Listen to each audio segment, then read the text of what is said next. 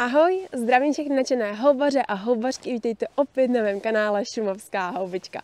Dneska máme poměrně frišno, je dopoledne, je krásný podzim a já jsem si řekla, že vyrazím zase na houby. Ale ne na úplně klasickou tradiční houbařinu, ale pouze na jednu jedinou houbu. Co je to za houbu? Hnojník obecný. Tato houba je velice zajímavá a já jsem vám ji ještě pořádně neukázala, tak to pojďme dneska napravit. Hnojník vyrůstá od května až do listopadu, tedy počas celé té hlavní houbařské sezóny. A narazit na něj můžete skutečně kdekoliv, ale hlavně tam, kde jsou dobře hnojená místa. To znamená na poli, pastvině, na nějakých loukách, podél lesních cest nebo podél světlých lesů. Ovšem nejčastěji ho najdete třeba na své zahradě, poblíž kompostu nebo rovnou hnoje. Právě díky tomu místu, kde vyrůstají nejčastěji, u hnoje získali své jméno. Jak vlastně poznáte hnojníky? Jsou to takové bělavé houby, které v mládí mají ten klobouk eh, protáhle vejčitý.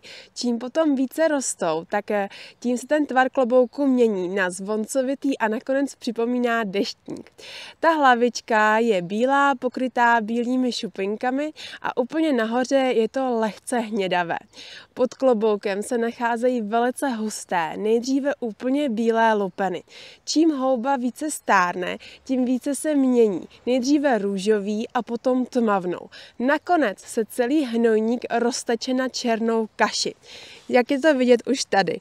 Tady se to začíná roztejkat a tomuto procesu roztejkání se, se říká odborně autolíza. Proč se to děje?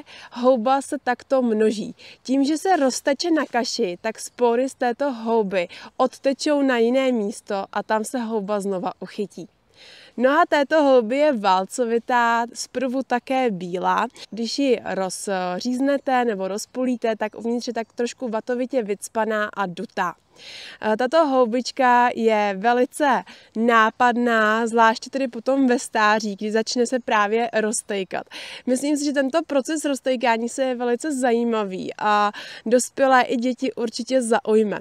Pokud eh, najdete houbu, která bude čistě bílá, tak si ji můžete dát do košíku. Pokud už bude takto zabarvená do růžova a do černa, tak ji nechte v přírodě. V takovém případě už je totiž nejedlá.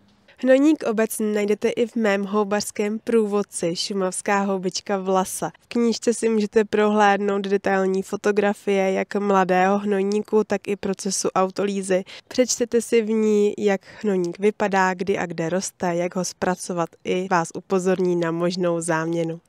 Pokud si chcete dát hnojník na svůj talíř, musíte najít hnojník, který bude dokonale bílý. Nesmí ani trošku růžovět. A jakmile si hnojníky mladé nazbíráte, tak utíkejte domů a i hned je uvařte.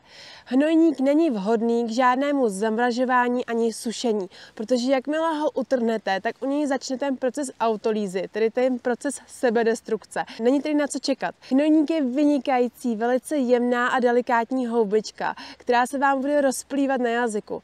Ale abyste si užili toho gurmánského zážitku, je potřeba nestrácet čas a velice rychle tuto houbu uvařit a sníst. Jaké recepty můžete použít při eh, zpracování zpracování hnojníku. Můžete vyzkoušet klasiku v podobě obalení v trojobalu a usmažení, nebo můžete hodit hnojník čistě jenom na máslo, osolit a to je pak ta pravá delikatesa.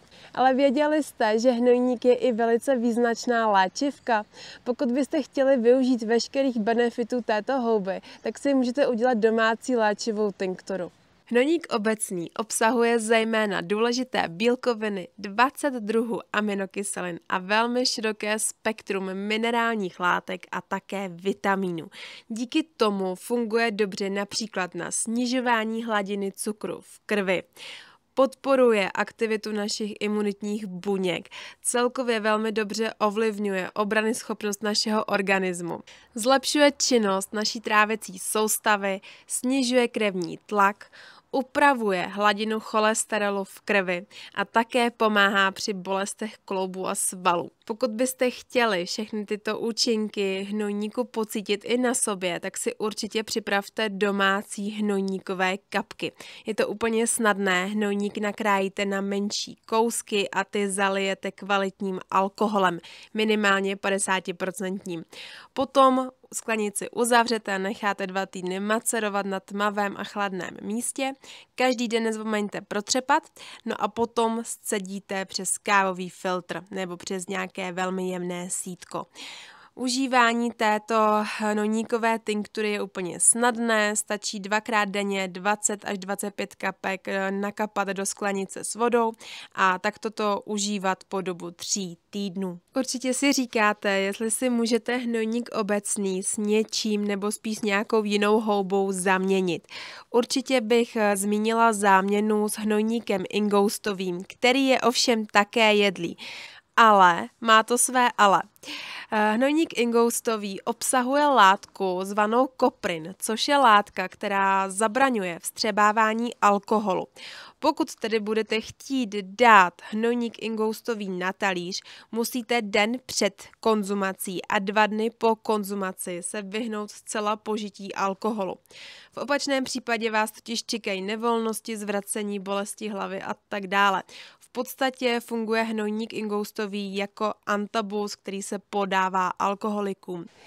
Tak jo, já už jsem se dneska usadila, protože mám nazbíráno na tu moji dnešní spotřebu, to úplně nakrásno stačí. Mám velikou radost, že jsem si našla takto mladé, úžasné plodničky.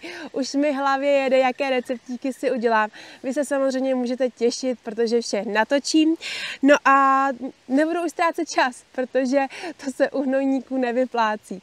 Já doufám, že se vám dnešní díl líbil, že vás inspiroval k tomu, abyste taky zkusili ten hnojní dát na talíř. Pokud se vám video líbilo, tak mě určitě můžete podpořit nějakým tím palcem nahoru, srdíčkem, odběrem kanálu a nebo rovnou utíkejte na můj e-shop šimovskáhoubička.cz, kde si můžete koupit parádní košíky, kvalitní nože, teplé ponožky, moje dvě knížky a nebo nějaké ty medicinální houby.